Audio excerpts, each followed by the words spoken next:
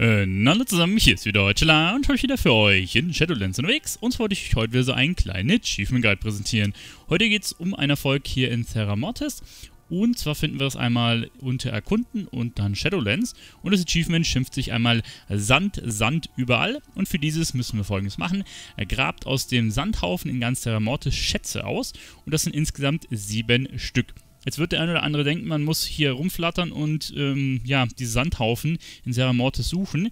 Ganz so ist es tatsächlich nicht. Wir brauchen als allererstes mal bestimmte Items, mit denen wir diese Sandhaufen öffnen können. Und zwar schimpfen sich die Items Raumöffner und davon könnt ihr maximal sieben haben und diese Raumöffner bekommen wir aus den normalen Schätzen hier aus der Zone raus. Das sind immer bestimmte Schätze. Ich hatte euch ja auch schon einen Guide zu den Schätzen hier aus der Zone gebastelt gehabt, zu den knapp 30 Schätzen sind es glaube ich und ähm, da hatte ich die schon gezeigt. Ich werde es euch aber hier nochmal reinschneiden. Ähm, speziell die Schätze, die dementsprechend die Raumöffner droppen. Solltet ihr die schon haben, könnt ihr den Teil auf jeden Fall skippen. Gut, dann würde ich sagen, starten wir mal durch mit dem ersten Schatz. Und zwar, wir befinden uns einmal hier im Lager und zwar auf den Koordinaten 34, 65. Und wir wollen uns jetzt einmal die gestohlene Schriftrolle besorgen. Die ist einmal so ein bisschen tricky da oben. Und dafür, seht ihr, sind wir jetzt hier in dem Lager. Wir laufen jetzt an, den, an das Gebäude hier links ran. Dann können wir nämlich hier hochlaufen. Und wenn wir da hochgelaufen sind, können wir hier rüberspringen. Dann können wir hier rüberspringen. Jetzt gehe ich mal lieber in die Reisegestalt. Und dann können wir einfach hier rum. Und hier oben, seht ihr, liegt dann das erste Item drauf. Und damit haben wir dann auch dementsprechend das erste Ding rausgezogen. Und ja, damit ähm, gibt es dann auch den Raumöffner, den wir für ein anderes Achievement noch brauchen werden. So, dann sind wir am nächsten Spot und zwar jetzt hier unten auf den Koordinaten 49, 86. Und hier müssen wir uns wieder ein bisschen mit, ähm, ja, bisschen jumpen, um dementsprechend äh, relativ weit oben an einen Schatz ranzukommen. Ihr seht schon, das sieht schon ein bisschen schwieriger aus. Wir werden das Ganze einen Ticken einfacher machen und einfach wieder das Schattentor usen und einen Ticken warten zwischenrein. Ihr könnt natürlich, wenn ihr skilled seid, da hochhüpfen und irgendwo da oben auf dem Ast sollte die Kiste drauf sein. Gut, der Cooldown ist wieder weg. Ich habe jetzt rausgefunden, das müsste da oben in dem Nest sein. Da porten wir uns jetzt mal hoch. Da, wo der Gegner ist. Oh, ich bin jetzt hier so ein bisschen... Ah ja, genau. Und da müsste das Ding dann liegen. Ah, seht ihr? Geklautes Artefakt. Dann killen wir den Mob schnell. Können wir uns das einmal rauslooten. Also man kann hier bestimmt auch einfach hochhüpfen oder wenn ihr zu der Zeit schon fliegen könnt, dementsprechend das Fliegen benutzen. Aber ähm, ja, mit dem Port ist es relativ easy mit dem Ventier-Ding. Dann kommen wir zum nächsten Item. Und zwar sind wir jetzt hier einmal auf den Koordinaten 48, 47. Äh, 77, so rum. Und zwar müssen wir jetzt in die Höhle rein. Und in der Höhle drin ist ein Item, das schimpft sich Wogendes Blattwerk. Und um daran zu kommen, müssen wir jetzt erstmal verschiedene Schalter drücken. Und zwar sind es insgesamt vier an der Zahl. Ähm, drei sind drinnen und eins soll draußen sein.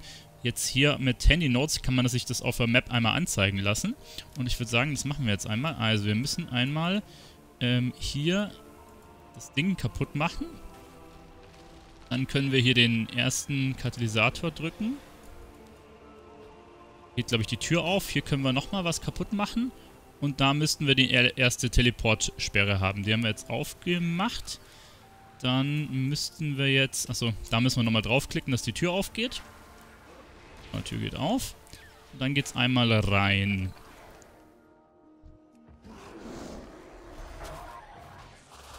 So, und hier oben ist nämlich das Item, was wir haben wollen. Um da ranzukommen, müssen wir jetzt halt die anderen Dinge auch noch anklicken. Und die müssten jetzt hier in den Räumen sein. Seht ihr? 1, 2, 3. Die klappern wir jetzt mal schnell ab.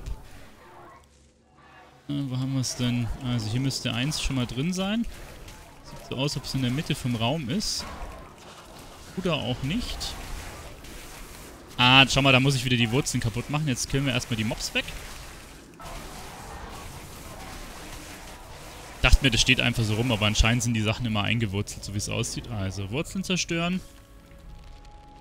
Dann können wir das Ding anklicken und damit haben wir die zweite Rune.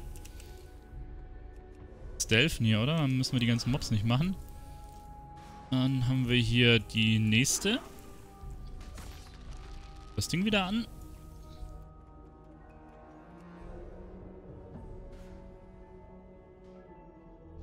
Da müsste die letzte drin sein. Hier haben wir einmal... Ah, seht ihr das unter dem Gebüsch? Also das sieht man echt richtig schlecht. Hätte ich es jetzt nicht auf der Map gemarkt gehabt, dann hätte ich es nicht gesehen. Warte, jetzt schaue ich, dass ich nochmal Shadow meld. Kann ich die... Ich habe das Ding jetzt, glaube ich, aufgemacht, aber... Kommst ja ganz, ganz schlecht ran. Hier müsste das sein. Ich glaube, ich habe es schon angeklickt. Jetzt gucken wir mal in die Mitte, ob ich mich damit porten kann oder ob die jetzt noch fehlt. Oh, hier müssten wir jetzt einen Teleport haben nach oben. Ah, da ist der Teleporter. Seht ihr das? Schauen wir mal. Können wir den klicken? Ah ja, okay. Nee, das, okay, das geht anscheinend nicht, wenn man im Combat ist. Dann holen einen die Mobs wieder raus. Müssen wir die doch töten. Also anscheinend habe ich das eine in diesem Blattwerk drin angeklickt, ne? Aber sieht man echt schlecht. Wahrscheinlich ist es besser, wenn man den Mob vorher tötet. Ich dachte mir, den spare ich mir jetzt an der Stelle. So. Also, dann porten wir uns. Oder auch nicht. Ach, da unten hat mich noch einer behagt. Okay, also anscheinend geht das echt nicht, wenn du im Combat bist. Gut, jetzt sind wir hier oben und dann können wir das Teil anklicken. Da müsste dann auch nochmal so ein Raumöffner rauskommen. Genau, und ein Toy haben wir auch noch dabei. Gut, das war's auch schon. Hier seht ihr den äh, Raum nochmal, ne? Also in jedem von den kleinen war eins drin und dann quasi den Port im großen benutzen und dann habt ihr das Item auch schon. Beziehungsweise das eine draußen hat halt auch noch gefehlt. Dann sind wir am nächsten Spot und zwar, ich befinde mich jetzt hier bei den Koordinaten 59, 75 und hier gibt es einen Schatz, äh, untergetauchte Truhe und für die müssen wir erstmal ein Item besorgen und zwar hier hinten, ähm, wo ich jetzt gerade bin. Dort müssen wir eine Kugel aufsammeln und diese Kugel müssen wir zu so einer Pumpstation bringen und dann kommt die Truhe einmal hoch. Also ihr seht, hier haben wir den Weg einmal an dem Fluss entlang und hier ist eine Kugel und zwar schimpft sich die gefährliche Kugel der Macht und die können wir einmal aufnehmen. Sobald wir die aufgenommen haben, müssen wir die hier rüberbringen zu, zu dieser Pumpstation. Und zwar müsste da so ein Teil sein, genau, vergessene Pumpe. Die können wir einmal anklicken. Und dann müsste hier die Kiste nach oben kommen. Ja? Und da dürfte dann auch wieder ein so ein Hut drin sein, den wir brauchen. Jetzt schauen wir mal. Genau. Admiralshut haben wir da drin. Und ja, dann schauen wir mal weiter zum nächsten. Dann kommen wir zur nächsten Kiste. Und zwar haben wir hier eine Herrschaftstruhe. Und die befindet sich einmal hier relativ weit oben bei den Koordinaten 60, 18. Und für diese Herrschaftskiste brauchen wir aber einen Schlüssel, um die öffnen zu können. Wir machen die jetzt mal auf. Ich habe den, oder warte mal, ich zeige euch erst mal den Schlüssel. Der heißt Dominanzschlüssel.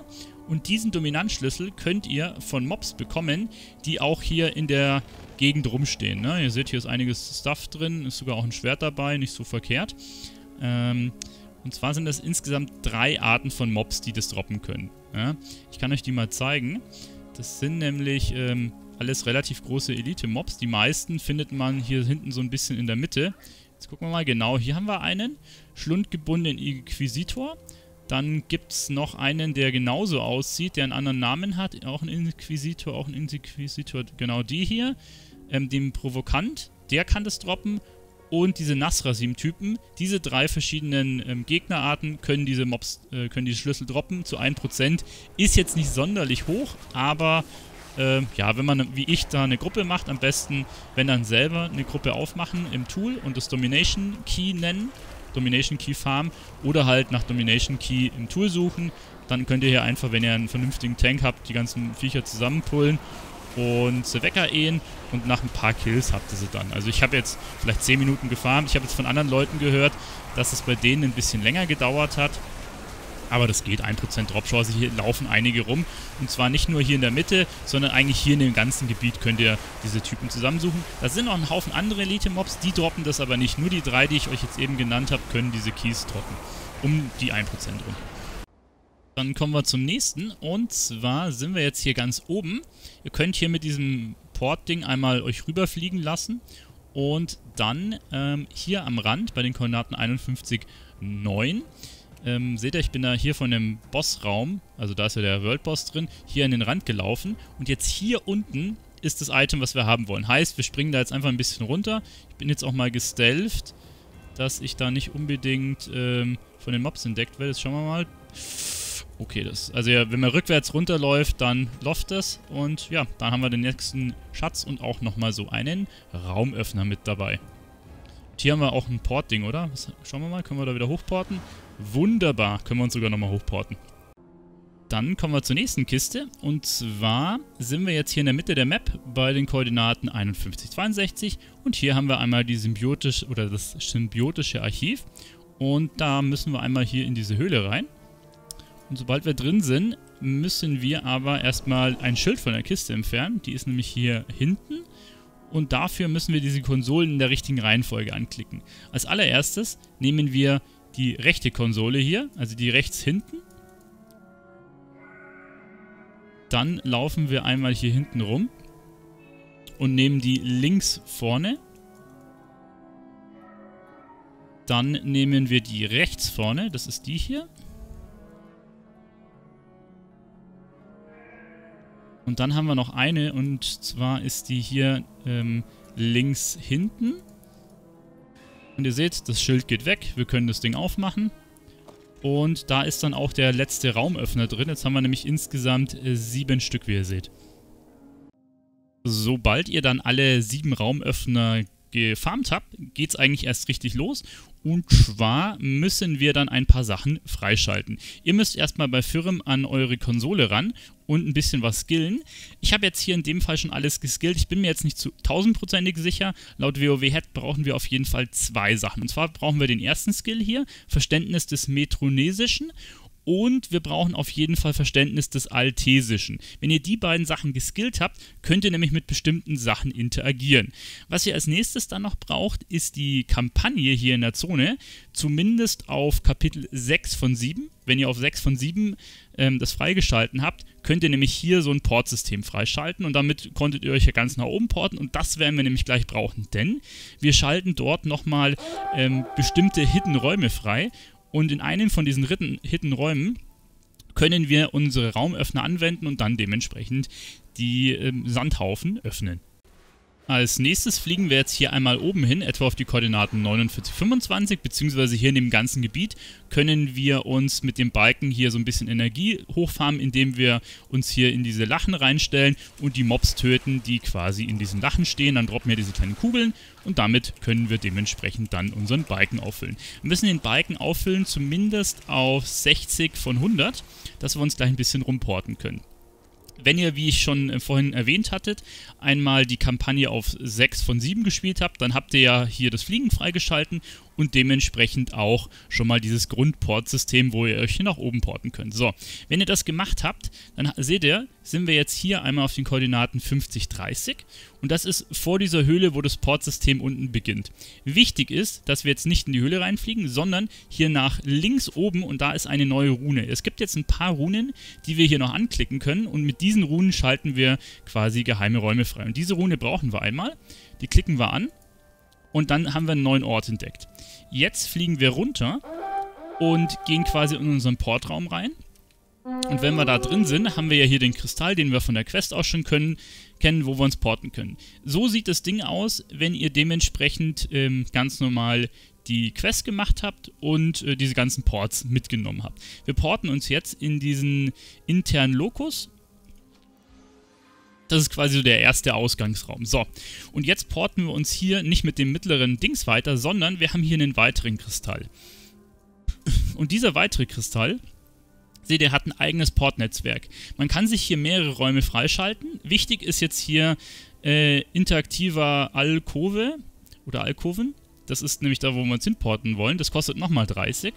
Und wenn wir uns jetzt da einmal rüberporten, seht ihr, sind wir in einem Raum, mit leuchtenden Sandhäufchen. Und da sind insgesamt 1, 2, 3, 4, 5, 6 und irgendwo, glaube ich, in der Ecke war noch einer. Äh, genau hier hinten sieben Sandhaufen und da brauchen wir einmal unsere Raumöffner mit. Wichtig, ich habe auf WoW gelesen, es gibt bei einigen Leuten den Bug, wenn das Inventar voll ist, kann man sie nicht looten und dann muss man zwei Raumöffner verwenden und dann kann man das Achievement nicht mehr machen. Deswegen räumt euer Inventar aus, dass ihr genug Platz habt und setzt immer nur einen Raumöffner pro ähm, ja, pro Sandhaufen ein.